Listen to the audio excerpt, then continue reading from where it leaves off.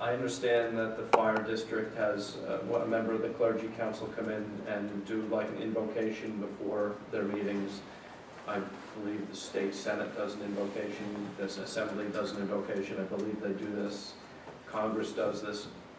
The clergy council has volunteered, mainly because I asked, um, to do an invocation, a non-denominational invocation, and we'd make it open to any um, group, you know, clergy group or person that would want to do it and set up a schedule, and before the board meeting, when we do the Pledge of Allegiance, um, after the Pledge of Allegiance, we would do an invocation. And uh, I think it would be a, a nice thing to do. Um, I don't want to get jammed up with litigation and things like that. So I'm hoping that, that the community would think that this is a good thing to do and keep it as non-denominational as possible, and there's a whole group of volunteers that are willing to do it. Well, I think there's a lot of people out in this town praying, so I don't see what we should do, I guess.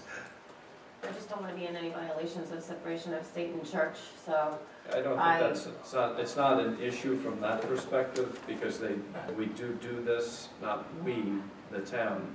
That doesn't mean somebody's not gonna raise the issue, but, um, many, many government instrumentalities do this at the state and the federal level. Um, and in fact, if you go into court, it says in God we trust, not in God, we, yeah, I think it does say God we trust. we say one nation under God when we say the Pledge of- Allegiance too, but that's, I mean, No, some, I,